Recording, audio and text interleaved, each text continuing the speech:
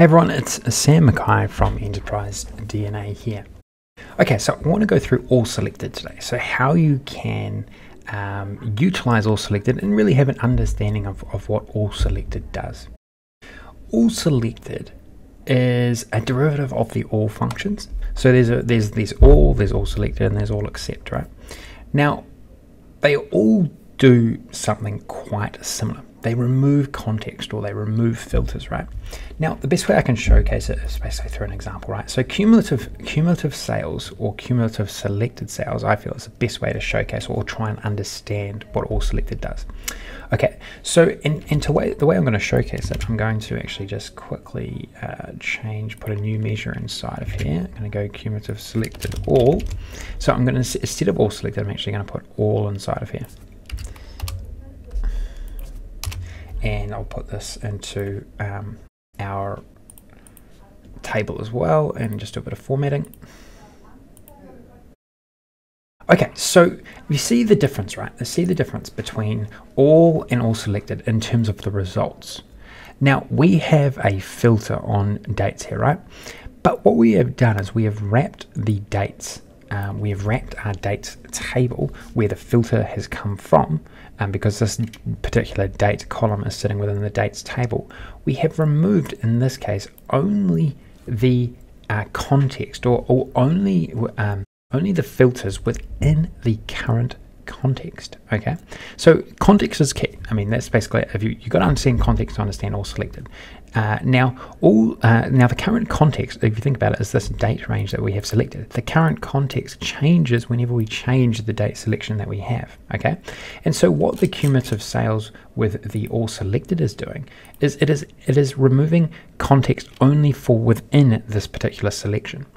But what all is doing is it removes all context regardless of what what is selected okay and that's why we get such different results so whenever i whenever i see an all uh, especially within a cumulative total pattern i always think well it's all from the beginning of time, for, from the beginning of any data in your data set, because basically it disregards any selection that you could make within your report. But what all selected does is it actually uh, it actually understands well. Okay, you've got certain areas selected in your report, or a certain date time frame um, selected within your report, and so it only removes, in this case, this, the the context within here. Now, why is this important? Because well, we, we want to be able to showcase a cumulative total. I'll, I'll just create a visual here we want to create a cumulative total that actually adjusts it actually adjusts for um, whatever time frame we select, right? And that's how we can create really effective visualizations which showcase trends, which show divergence in trends, etc., etc. And so if I go and um, change this around, you know, whatever date time frame, it will constantly adjust. It will constantly start at whatever is my first date I've got selected and whatever is my last date, and it will only um, cumulatively work out or cumulatively count up from or between those particular dates. But if I overlay this with, say, cumulative sales all, you'll see that we get this um, ridiculous result, which is pretty meaningless because this is trying to reach back to the beginning of time, basically. Uh, and um, yeah, as, as, as, as, at least you want to show that particular um, uh, running total type um, type analysis, it's pretty pretty meaningless to be honest. So that's why, from a cumulative total, all selected is a really effective way. Um, uh, using all selected is a really effective way to showcase that. And um, you can utilize, obviously, you can branch out from here. You can do sales last year, sales last quarter, etc., etc., in the same pattern. And all selected will always go and do the job. It will only showcase information within the selected time range. Now, in this particular example, I've actually used all selected in another different, another way also.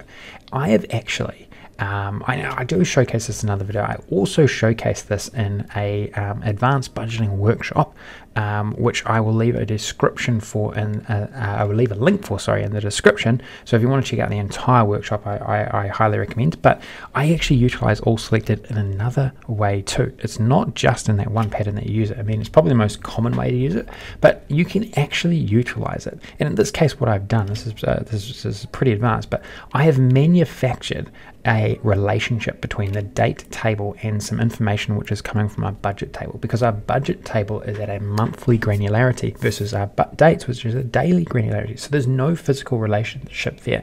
But what I have done is I have utilized the SumX um, and the table functionality within SumX to iterate through every single day and then used all selected to be able to uh, um, adjust adjust this result for dates, even though even though there is actually no relationship, no physical relationship um, in the particular model. So there's a little bit to that. Um, so you know, if um, I would certainly review the entire workshop because I go through all of it, right?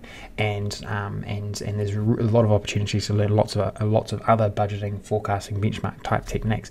But all selected is a really effective function to be able to utilize within many different way and many different ways. And um, to be honest, this way that you can manufacture, you can manufacture manufacture relationships um, um, inside of Calculate by using SumX, etc., is a truly, truly amazing um, technique that you can use in Power BI. So, so get, getting your getting your um, mind around how to utilize that, and then being able to integrate it with all selected is a, a really, really um, effective way to use Power BI. Okay, so I'm going to round off um, just you know a bit of information on all selected there. Um, there there are a few nuances to all selected. There's there's actually uh, you, you could actually dive deeper into how that function works. Something that's probably just not that relevant to be honest in this particular tutorial. But um, hopefully you can see the big difference between all, especially because that's where a lot of confusion occurs. But then also see that there's some other applications for all selected. Um, you know, um, obviously with uh, cumulative sales, but also from a manufactured um, a relationship perspective as well. Okay, so uh, what I will do uh, is if you, if you, want to download, um, you know, the, the, or you want to sorry view the full workshop, this is what we worked on. This is what I worked on and showcased from start to finish. So certainly check that out uh, in the uh, description. Um, and then also, if you want to actually play with this and see how these formulas um, were utilized from a visualization perspective, certainly check out the Enterprise DNA Showcase um, as uh, I review a lot. Uh, you can review it yourself. You can use the demo, etc., etc. And if you actually want to purchase the this model along with all of these other models that um, I have created in time, uh, there is uh, about maybe 40 now, 40 demo models that you can build on a variety of different scenarios. You can. All it requires is an upgrade to Enterprise DNA membership. So certainly check that out if that, that's something you want to explore further and you want to um, deep dive into you know, how these are all built, etc. Um, I, I, highly recommend um, looking into that further. Okay, so all the best with this one. Um, you know, plenty to learn um, with all selected. All selected is a great function, um, but one of the more complex ones. So, you know, certainly if you're just starting out, don't look at that one first. Um, leave uh, and go find some. Go look at some of the um, more common ones like the aggregations, iterations, table functions. Those are where you should start, and then branch out into these more advanced ones that when you start combining functions, you need to utilize to get the insights that you want. Okay, all the best. Talk to you soon. Hey everyone. Thanks for tuning in to Enterprise DNA TV. If you enjoyed the contents covered in this particular tutorial, please throw the video a like. It really helps us and we really appreciate it. Also, don't forget to subscribe to the Enterprise DNA TV channel. Uh, we have a huge amount of content coming out all the time from myself and a range of content creators, uh, all dedicated to improving the way that you use Power BI and the Power Platform. Lastly, check out Enterprise DNA's website. Plenty of resources and further learning that you can access very easily. All the best. Take care.